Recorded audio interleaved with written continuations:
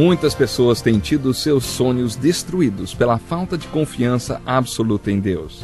A Bíblia está repleta de exemplos de grandes sonhos cumpridos para a glória de Deus. Encontro com a Palavra é um programa escrito pelo Dr. Dick Woodward e narrado por pastor Edson Bruno. Ouça e descubra verdades que lhe ajudarão no seu dia a dia. Com você, pastor Edson Bruno.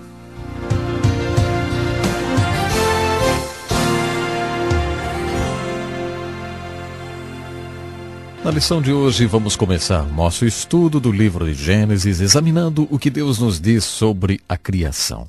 Portanto, muito bem-vindo a mais um programa Encontro com a Palavra. Estamos iniciando um estudo completo da Bíblia de Gênesis ao Apocalipse e fico muito feliz por você ter escolhido participar da lição de hoje. Afinal, estamos estudando o livro mais importante do mundo. Bem-vindo ao programa Encontro com a Palavra de hoje. A palavra Gênesis, o nome do primeiro livro da Bíblia, significa algo como Gênese, ou o início. Como dissemos em nossa última lição, este livro não foi escrito somente para revelar como as coisas vieram a existir. Afinal, Deus não nos deve explicações. Esse livro nos fala da origem das coisas porque Deus quer que a gente entenda como tudo começou. Isso também vale para todos os assuntos que vamos estudar no livro de Gênesis e, claro, Deus está nos revelando alguma coisa sobre a criação. No primeiro capítulo de Gênesis temos essas palavras. No princípio, Deus criou os céus e a terra. A terra, porém, estava sem forma e vazia. Havia trevas sobre a face do abismo e o Espírito de Deus pairava sobre as águas. Disse também Deus: Povoem-se as águas de enxames de seres viventes, e voem as aves sobre a terra, sobre o firmamento dos céus. Criou, pois, Deus os grandes animais marinhos e todos os seres viventes que rastejam, os quais povoaram as águas, segundo as suas espécies. E todas as aves segundo as suas espécies também. E viu Deus que isso era bom. Também disse Deus: Façamos o homem a nossa imagem, conforme a nossa semelhança. Tenha ele domínio sobre os peixes do mar, sobre as aves dos céus, sobre os animais domésticos, sobre toda a terra e sobre todos os répteis que rastejam pela terra. Criou Deus, pois, o homem à sua imagem. A imagem de Deus o criou. Homem e mulher os criou. E Deus os abençoou e lhes disse: Sede fecundos, multiplicai-vos e enchei a terra. Viu Deus tudo quanto fizera, e eis que era muito bom. Esse assunto da criação é o assunto mais popular dentro do livro de Gênesis. Se você participar de uma discussão sobre religião numa universidade, parece que a Bíblia não fala de outra coisa que não seja a criação. A criação é o que mais os universitários gostam de discutir quando se trata de religião. Existem dois pensamentos extremos quando o assunto é a criação. Primeiro, temos a posição do cientista que diz que a criação, como foi narrada no livro de Gênesis, não é cientificamente confiável. Por isso, ele rejeita a Bíblia como palavra inspirada de Deus. A outra posição, que é o oposto da primeira, é a do crente conservador, que aborda o assunto com uma outra pergunta. A ciência é biblicamente confiável? E dizem mais: a Bíblia não está sujeita a julgamento. A ciência é que está. A questão aqui não é se a Bíblia é científica, mas sim se a ciência é bíblica. Esta é a questão. A Bíblia e a ciência são compatíveis quando a Bíblia aborda um assunto como a criação? Esta é a verdadeira questão aqui. E é uma questão muito popular. Precisamos colocar algumas coisas em perspectiva agora. Primeiramente, se você pensar em termos de ciência e em como um cientista é, se você pensar sobre os métodos do cientista como ele próprio os define, você pode chegar a algumas conclusões. Você vai acabar chegando a essa pergunta: será possível um cientista crer em Deus e continuar sendo um cientista? Baseado na maneira com que os cientistas definem por conta própria os parâmetros dos métodos da ciência, nós temos aqui uma questão interessante. Com certeza, um cientista pode ser teísta. Muitos cientistas são teístas devotados. Mas baseado na definição que eles próprios têm do método científico, parece que quando um cientista é teísta, ele não está sendo científico ou não está sendo teísta quando é cientista. Teísta é aquele que acredita em Deus.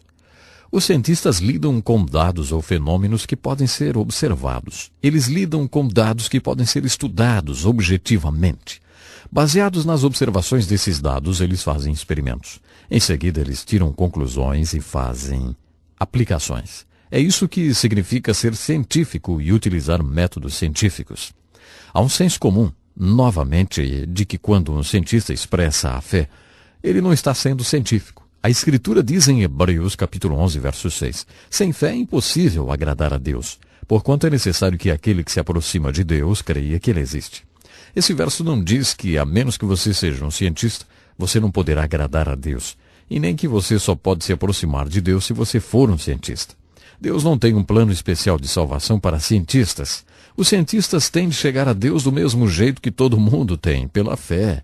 E a fé que nos leva a Deus e torna possível, então, que vemos ter uma vida que agrade a Deus. A fé é um dom de Deus. Novamente, deixa eu dizer o seguinte: baseado na maneira com que alguns cientistas escrevem o funcionamento dos métodos científicos, quando o cientista recebe o dom da fé, como qualquer outra pessoa, quando ele crê no sobrenatural, quando ele chega a conhecer a Deus e viver uma vida que agrade a Deus, quando ele chega a isso, ele não está sendo científico, literalmente falando. Veja, Deus é um espírito e aqueles que o adoram e chegam a conhecê-lo conhecem e adoram a Deus na dimensão espiritual da vida. Esse não é o método da ciência. Resumindo, quando abordamos o assunto da criação através de um ato direto de Deus, quando falamos sobre o assunto Deus, quando mencionamos o sobrenatural, a revelação e o milagroso, não estamos no campo da ciência. Qualquer cientista pode lhe confirmar isso. Considerando tudo isso, eu gostaria de traçar alguns paralelos.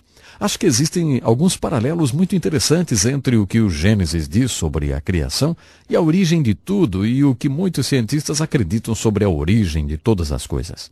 Eu creio que há vários paralelos aqui e ali e muitas diferenças agudas. Baseado na nossa introdução à Bíblia, para ler sobre a criação, devemos agir como agiríamos para ler todos os capítulos da Bíblia, fazendo as seguintes perguntas: O que está escrito? O que quer dizer? E o que significa para mim? Ao responder à primeira pergunta, o que está escrito sobre a criação, uma das palavras que você deve estudar e observar cuidadosamente é a palavra traduzida como criar ou criou. Essa é a palavra hebraica bara. E essa palavra bara, a palavra usada para criar, só é encontrada três vezes nesse relato da criação. No princípio, Deus criou, e depois, na água, ele cria, e depois ele cria o homem. No princípio houve um ato de bara, ou criação. E como resultado desse primeiro ato de criação, tivemos o firmamento, que significa o universo e a terra. Essa terra tem o poder de produzir toda a vida vegetal. Tudo o que veio depois foi um resultado daquele primeiro ato de criação, ou bara. O segundo ato de criação acontece na água e é encontrado no verso 21 do capítulo 1 de Gênesis. O resultado desse segundo ato de criação é a vida animal. Depois veio o terceiro ato de criação que trouxe as pessoas à Terra. Mas vamos observar um detalhe. Entre esses três atos de bara, ou criação, o relato do Gênesis sobre a criação usa palavras que realmente poderiam ser descritas como desenvolvimento e mudança. Está escrito: No princípio, Deus criou os céus e a terra. Quando ele criou os céus e a terra, eles não tinham forma, eram vazios, eram úmidos, escuros e profundos. No segundo verso do relato da criação, Gênesis capítulo 1, lemos que o Espírito de Deus começou a se mover por sobre essa criação. Agora, entre os versos 1 e 2 do primeiro capítulo de Gênesis, muitas pessoas injetam uma teoria. É a chamada teoria da catástrofe. Eles dizem que alguma coisa aconteceu após o verso 1 que destruiu completamente a primeira criação, por isso Deus teve de fazer outra criação. Eles acham que Deus não poderia criar uma coisa que fosse sem forma e vazia, úmida, escura e profunda. Nesse ponto é preciso uma certa prática como estudioso da Bíblia. Faça-se a seguinte pergunta: O que está escrito? Francamente, não está escrito que houve uma catástrofe. E também não diz que algo aconteceu com aquela criação que a deixou sem forma e vazia. Diz ali que ela era sem forma e vazia. Era um caos, como dizem os teólogos. E diz ali, e isso realmente está escrito, que o Espírito de Deus começou a se mover sobre essa criação e a desenvolvê-la, e a manipulá-la e a transformá-la. Em Gênesis 1, Entre os versos 1 e 21, lemos palavras como dividida, reunida e apareça. Por exemplo, lá diz que a terra seca apareceu.